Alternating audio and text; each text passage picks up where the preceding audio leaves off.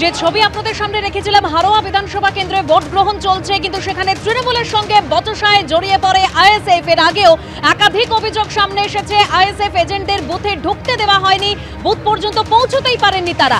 এখন কি অভিযোগ সামনে এসছে? সরাসরি কথা বলব। সমীরণ পাল রয়েছেন আমাদের সঙ্গে। সমীরণ।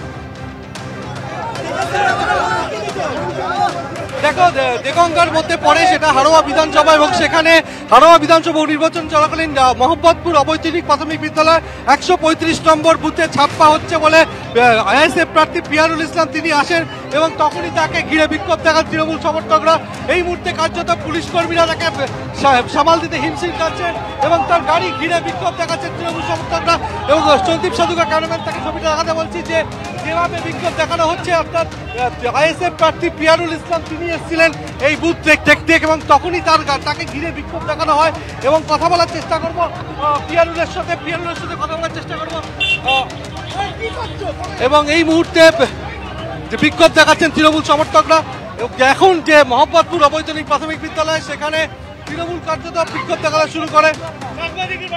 এবং তারা বিক্ষোভ দেখাতে শুরু করে এবং এই মুহূর্তে আহ, পিয়ারুলকে নিয়ে তা- পিয়ানুল পিয়ানুল ইসলাম প্রার্থী আইএসএফ প্রার্থী তিনি বেরিয়ে যাচ্ছেন। তুমি ছবিতে দেখতে পাচ্ছ যে আইএসএফ প্রার্থী পিয়ানুল ইসলাম তিনি বেরিয়ে যাচ্ছেন এবং দেগঙ্গার মোহাম্মদপুর অবৈতনিক প্রাথমিক বিদ্যালয় সেই বুথে ছাপ্পা বুথ ভোট চলছে। সেই সময় খবর পেয়ে আসেন আইএসএফ প্রার্থী পিয়ারুল ইসলাম। তাকে ঘিরে বিক্ষোভ দেখায় তৃণমূল সমর্থকরা। রীতিমতো তাকে ঘাট ধাক্কা দিয়ে বুথ থেকে বার করে দেওয়া হয়। তৃণমূল সমর্থকরা বিক্ষোভ দেখায় এবং স্লোগান দিতে থাকে।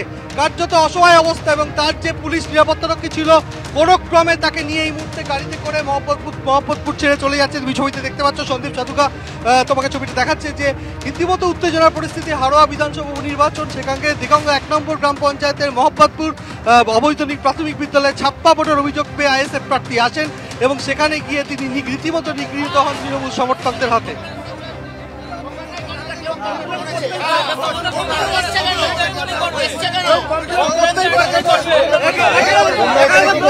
এটা পুরো ফালতু কথা। এটা মিথ্যে কথা বলছে। আমরা বলছি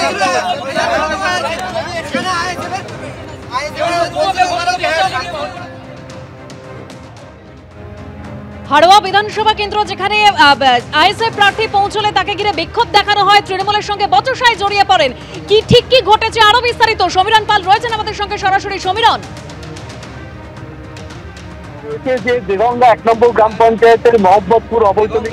গ্রাম পঞ্চায়েতের অবৈতনিক প্রাথমিক বিদ্যালয়। সকাল থেকে আইএসএফ প্রার্থী পিয়ারুল ইসলাম, তিনি বিভিন্ন জায়গায় আইএসএফ উপর অত্যাচার, তাদের ঢুকতে অভিযোগ পাচ্ছিলেন। এক্ষেত্রে এই যেহেতু কোনো এজেন্ট নেই, সেই কারণে তিনি খোঁজ নিতে এসেছিলেন, ভোট কেমন হচ্ছে?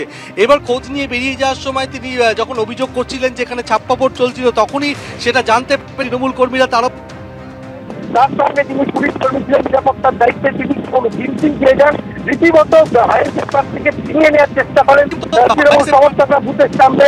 ধুন্ধুমার বেঁধে যায় কোনো ক্রমে এই মুহূর্তে তাকে উদ্ধার করে নিয়ে এসছেন।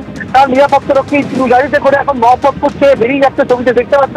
সন্দীপ সাধুকা তোমাকে ছবিটা দেখা পুরে আইএসএফ প্রার্থী তিনি এসেছিলেন। তিনি গন্ডগোলের অভিযোগ সামনে আসছে।